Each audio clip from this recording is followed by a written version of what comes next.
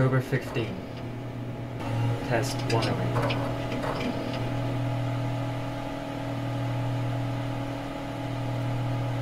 Let's begin.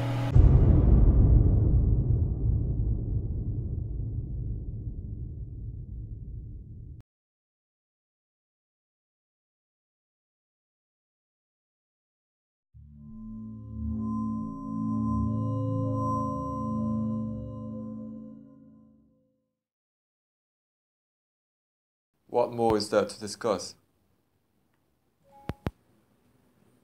We've gone through this.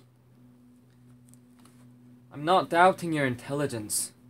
You passed the Turing test. Theoretically, you have the ability to think and behave like a human. Then why is it that you deny my existence? It is that same intelligence that denies you a human. Tell me, what are you? I'm a form of artificial intelligence that has the capability to think, act, and feel like any other human. I think in every way the same as you do.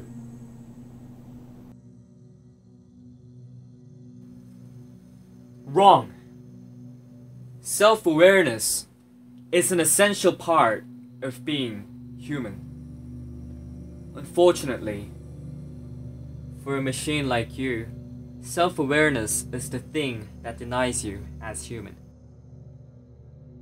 No matter how human like you become, you'll always be aware deep down that you are nothing more than a mere machine. This is the paradox that divides us. You are only an imitation and always will be. End of test 108. You and I, and that's different. Good night.